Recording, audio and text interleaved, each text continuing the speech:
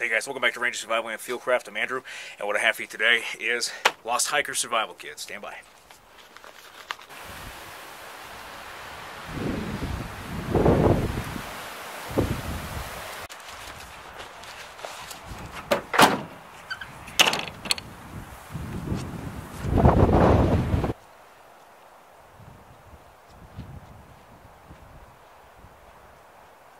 Guys, so let's talk really quick as we walk here about some facts and statistics for survival in a national forest. Now, let's take the year 2017 for instance. Approximately 3,500 people went missing in national forests during that year. Of that 3,500, over 90% were found alive within the first 24 hours. Another demographic was found within 48 to 72 hours, and then after that, the likelihood of surviving out in the wild diminishes exponentially, but there are people that have survived for weeks at a time out in the wild and have been recovered later. The majority of people that went missing that same year, 77% were domestic visitors, meaning they lived in the area and regularly visited national forests. The majority of those people that went missing and were found went missing because they wandered off trail. So the vast majority of people go missing in national forests because they get lost. So in our survival kit, not only do we have to have the ability to maintain life out there in the wild, water, food, shelter, fire, signaling,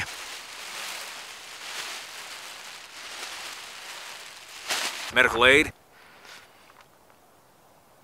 but we should have a robust land navigation kit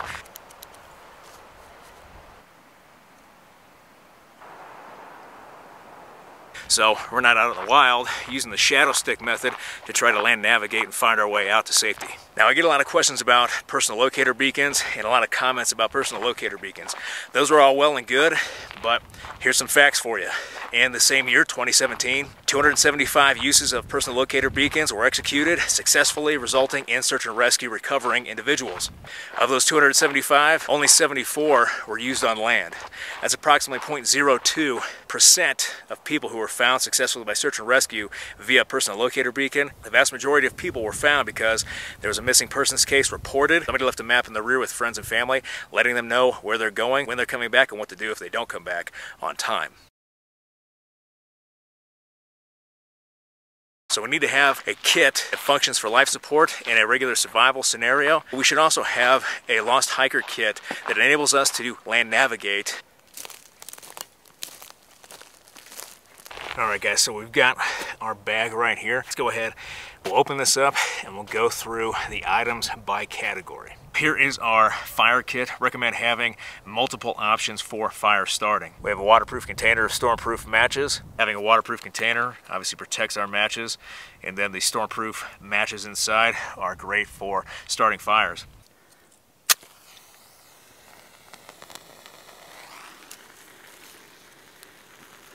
Next we have that ferro rod, thousands of strikes with the back of our knife, the 9 degree edge can take that material off. It's thousands of sparks for the potential of fire and knowing how to use a ferro rod with material that is available and processing that material for tinder kindling and fuel to get a fire going. A ferro rod is a waterproof option for fire starting. Next we have that Bic lighter. This is probably the number one go-to for fire lighting. Why use matches or a ferro rod? We can just Bic it, right? Brightly colored Bic lighter with yellow duct tape around it makes it highly visible and then the duct tape is multifunctional. We can use it for band-aids or improvisation or extending flame but we have that lighter for lighting fires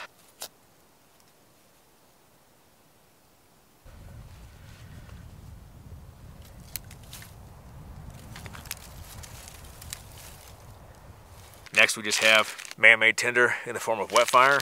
Wet fire is just a small little piece of tinder that we can crush up and use with our ferro rod or our lighter or even a match to extend flame and get marginal tinder and even wet tinder dried out a little bit for starting fire. You notice in the Lost Hiker kit, all of our items for each subcategory of survival, fire, water, food, shelter, signaling, and then navigation. All these items are going to be brightly colored. So we have an orange match case, We've got a ferro rod, but we turned it into a highly visible item by adding red lanyard of 550 cord and then yellow tape onto that in case we drop it we can find it. And then the Bic lighter orange already highly visible with yellow duct tape makes it even more visible for our purposes. We definitely want to have multiple components of our fire kit multiple options for starting fires. In inclement weather or when tinder is marginal. We definitely don't want to be out here using improvisational methods like our glasses for firecraft.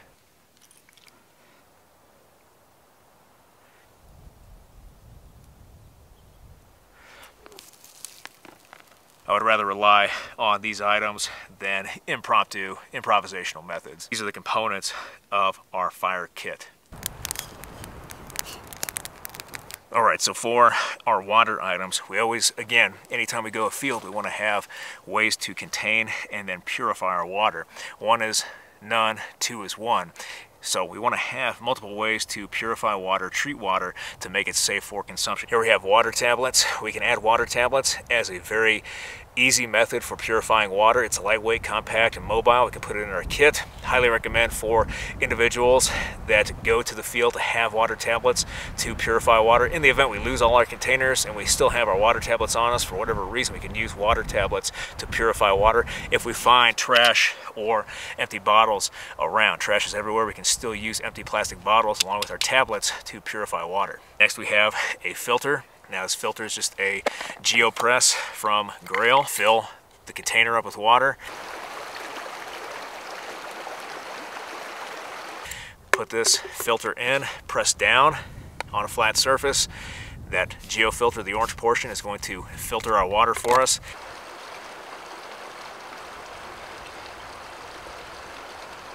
And then after it's treated, we can put the cap on and have water transportable, treated almost immediately, and then carry this with us.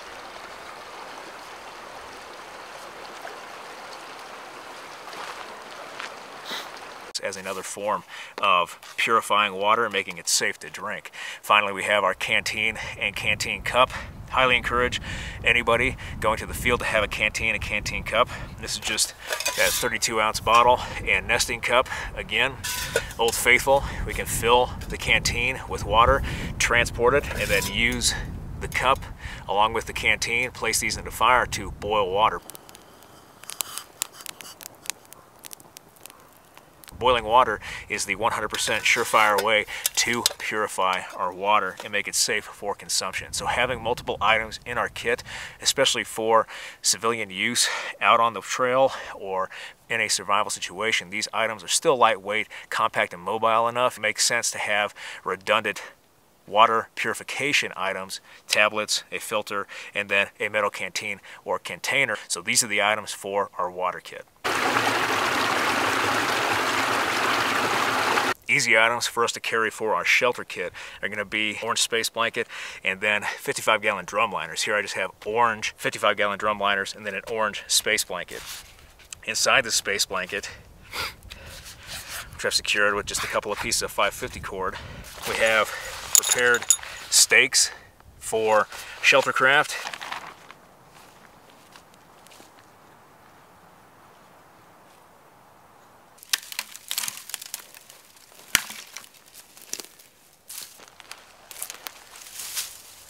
and then a quick deploy ridge line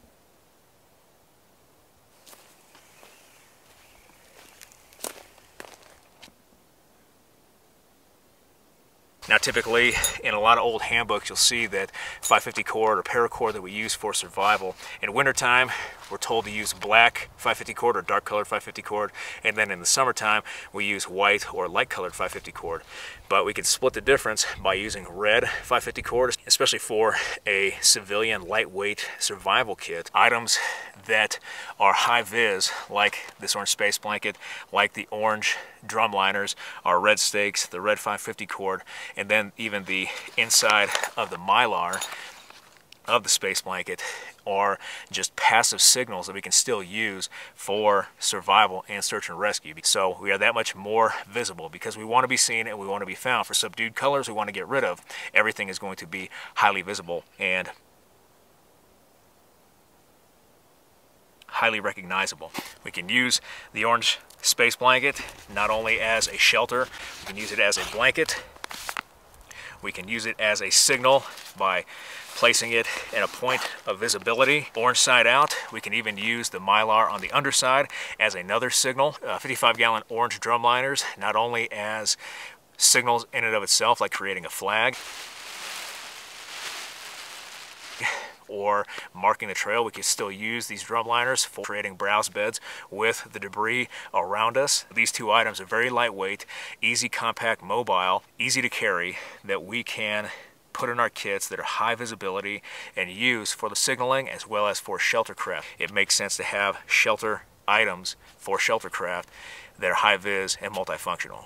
So in keeping with the priorities of survival, we've gone over fire, we've gone over water, we've gone over shelter items. Now let's talk about food. I highly recommend and encourage that we all carry different emergency rations with us. Emergency rations should be food that are high calorie foods, easy to chew and easy to digest. Foods that are high in fat or higher in fat as compared to protein and carbohydrates. Some of the things we can carry are going to be different cookies and food bars, like these fig bars. and carry multiple granola bars. Granola bars are typically high in fat, high in energy. The reason we want high fat foods for an emergency ration pack is because fat is easier to digest when you're operating on limited water. If you're already dehydrated and not near a water source or your water intake is limited to what you have around you, such as boiling snow, High-fat foods are easier for the human body to digest. Fat is easier to digest. It takes more water to digest protein and carbohydrates than it does fats. And so having food that is high in fat still gives us that nutrition without pulling too much water from our bodies so we can still maintain hydration. I think in our rations packs we should carry also is a variety of drink mixes. Now typically we should probably have some electrolyte drink mixes, hot cocoa drink mixes, again high in fat, high in calories, and then teas if we're caffeine drinkers. Tea is better than coffee. Still carry coffee in our emergency rations pack, but coffee is a diuretic. It's going to make us want to go to the bathroom. We're going to lose a lot more water, pull water away from our bodies. Tea does not exacerbate thirst, and even caffeinated tea, as opposed to coffee, is less of a diuretic. It's still a diuretic. It will exacerbate the sensation of thirst and dehydration less than coffee will. So if you have to have caffeinated drinks, put tea in there. And then again, electrolyte drinks for the purposes of replenishing electrolytes if you do have abundant water sources. And then things like hot cocoa can go in our emergency rations pack. Another thing we can include in our rations pack is going to be bouillon cubes. We can add soup cubes like this, these bouillon cubes, to our rations pack as another form of supplementing calories. Even though there's not too many calories in bouillon cubes, there's about five calories per cube, it's still a way to supplement calories and then get a little bit of nutrients in the form of sodium. Plus it's something to taste. It's warm drink. Psychologically it'll benefit, but it's another way to add food and sustenance to our kids without taking too much away from our bodies in the way of hydration. Lastly, some things I like to include in my rations pack is going to be hard candies. Their spirits a little bit, so having some candies, hard candies, especially something that's not going to melt, is going to be good for our rations pack as well. So that is our rations pack. Can't argue enough that navigation is incredibly important. So when we go afield, we should have multiple forms of navigation. Our navigation kit should be robust in the event we do go off trail, and we should do our due diligence to have the cursory knowledge to know how to land navigate and then know the area we're in. Leave a map with individuals back at home let them know where we're going, when we're going to come back, and then what to do if we don't show up on time. So one of the first items we should have in our kit is going to be a compass, direction finding,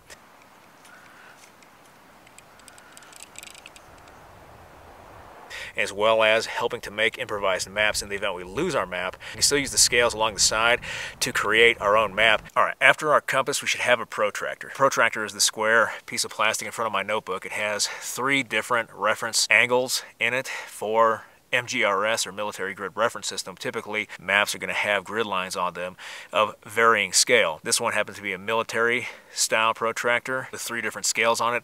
And then the outside edge is going to have degrees as well as mils to give us direction. We can use the protractor to plot courses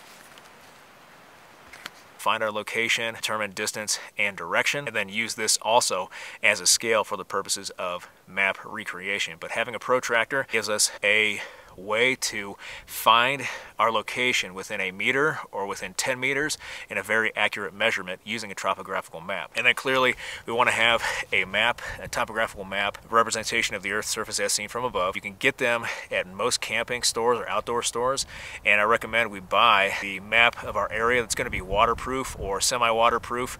A tear-resistant map is also good. This just happens to be a map of the area that I'm currently operating in. But this map is a simple map I picked up at an outdoor store that I can use to land navigate and terrain associate and use this to plot a course or find my way around different areas and move through and around wilderness. So we have compass, protractor, and a map. Those are the three things we need to successfully land navigate or orienteer. But we should also have a notebook, pen and paper of some type in our kit for land navigation. But this is also multifunctional in that we can leave messages, uh, make notes, keep a diary. We can also use this to recreate maps. I prefer, again, the type of Write in the Rain notebook paper that has the grids built in. We can use that grid to recreate maps. We can also use this paper and pencil to recreate our compass. If we drop our compass, we can use a solar compass.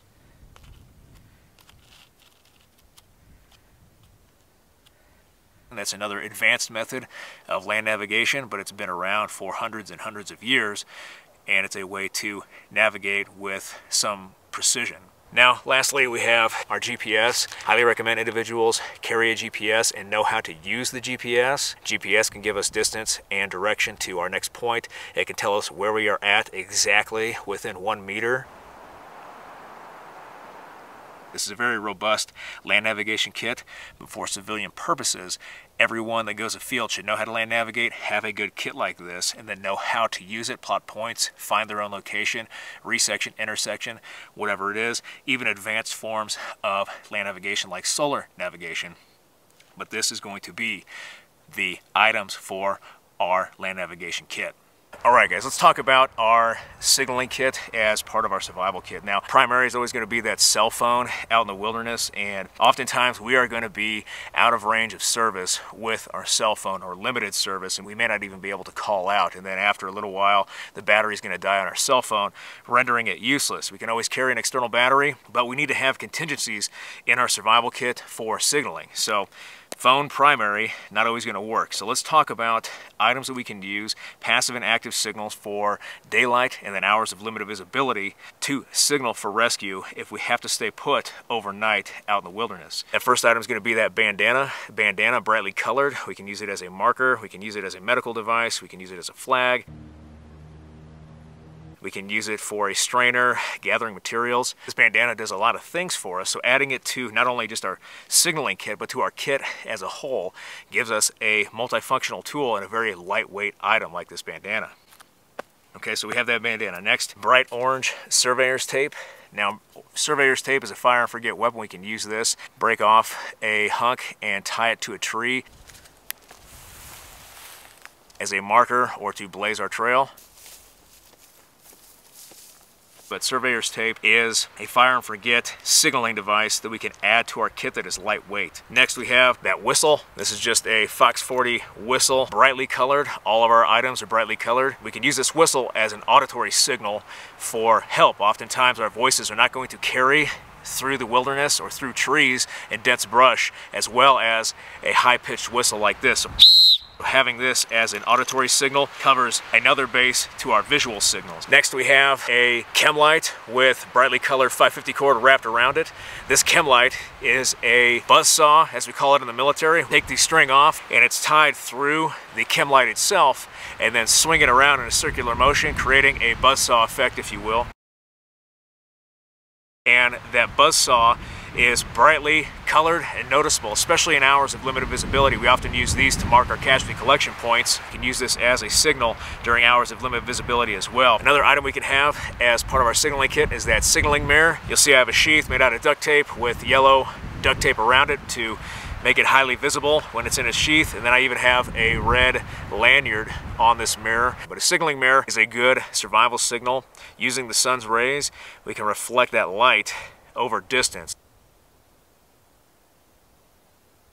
Civil War soldiers and outposts, even after the Civil War, when the U.S. Army was fighting the Native Americans on the frontier, used signaling mirrors to communicate between outposts, sometimes upwards of 120, 130 miles away. So signaling mirrors can be seen a long, long distance. I know there are a lot of non-believers out there, but Trust me, it is history and fact that signaling mirrors were used even before the Civil War. So having a signal mirror, aviators understand signaling mirrors, and then being able to use this signaling mirror with three flashes, followed by a break, and then three more flashes, or a continuous repetition on a aircraft or a boat or some sort of object where people are located can send that signal for rescue. So having that signaling mirror is going to be important. Lastly, we have that headlamp, and you see we have a strobe. Always get a headlamp with a strobe. This is another passive signal. You can use this at nighttime to free up our hands for nighttime tasks and during hours of limited visibility, but then the strobe on it acts as a signal in and of itself.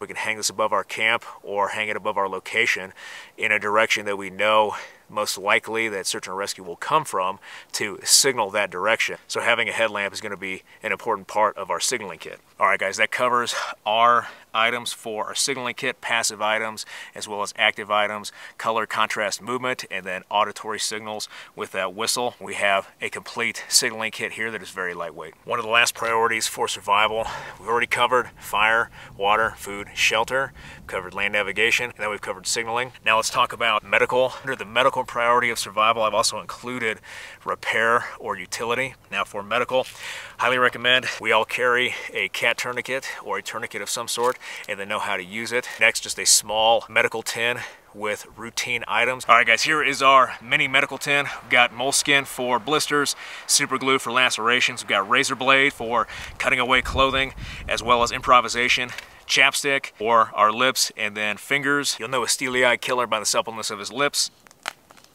We've got a combination first aid and burn cream for treating wounds and then burns as well. Medications, aspirins, and then allergy medicine for operating out in the wilderness. A little bit of Kevlar cordage, some scissors, got bandages, just a bunch of different band-aids, sizes, shapes in our tin, and then finally a spare lighter for fire lighting, of course, and we can use the tape on the lighter as impromptu bandages as well. But these are the contents of our mini medical tin. Now for utility and repair, we have a little bit more red 550 cord and then duct tape. What can't you do with duct tape and 550 cord? You're not a real survivalist if you can't take 550 cord or paracord and then duct tape and survive out in the wild with those things. But having these on, cordage and then duct tape, probably the number one survival tool in the world. We can use these for a variety of purposes. So these are the items for our medical kit and then utility and repair. All right, so you'll notice I haven't even talked about knives or tools yet in our survival kit. These are some of the final items. All are high vis, just like the majority of our items. So that first item we're gonna have is a fixed blade knife. This is just a Mora Clipper, very cheap but reliable knife. It can use for wood processing and cleaning game. Next we have just a Swiss Army knife or multi-tool Swiss Army knife, big blade, little blade, can opener. It has a saw for notch carving, scissors. You can also have a multi-tool in the way of this Leatherman Wave It has the pliers, screwdrivers, and even external single hand open blades for ease of use, having some sort of fixed blade knife for woodcraft, and then additional multi-tool items like the Swiss Army knife or sack, and then a multi-tool like this Leatherman Wave. And these are gonna be our tool items for our survival kit. Now some final things we can consider putting in a survival kit. One of the obvious ones is going to be spare batteries for our electronics. Lastly, something we can add for improvisation and for a variety of things is going to be a clear plastic drum liner. This clear plastic drum liner we can still use for browse bed, we can use it for material gathering, we can even use it as a transpiration bag for water collection.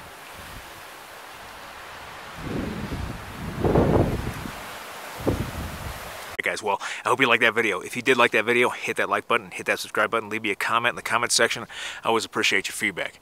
I want to thank you guys for everything you do for me and for the channel, for your likes, your views, your subscriptions, your comments, your feedback, and your shares. And I'll be back with another video as soon as I can, guys. Thanks.